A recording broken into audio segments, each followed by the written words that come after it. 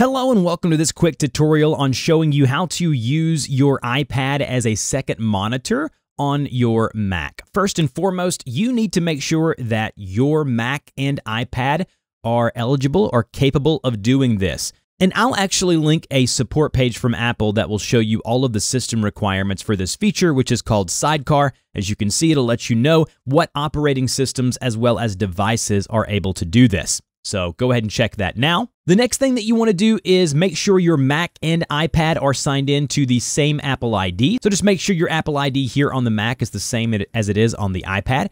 And then lastly, you want to make sure they're on the same Wi-Fi network. So go to your Wi-Fi network here, make sure that it is connected to the same Wi-Fi network, and make sure that Bluetooth is enabled on your iPad as well as your Mac. And then next, you need to go over to your iPad and go into Settings, which is the Gear Icon app. And then once under Settings, go to General Settings. And then once under General Settings, you'll see something if you scroll down that says AirPlay and Handoff.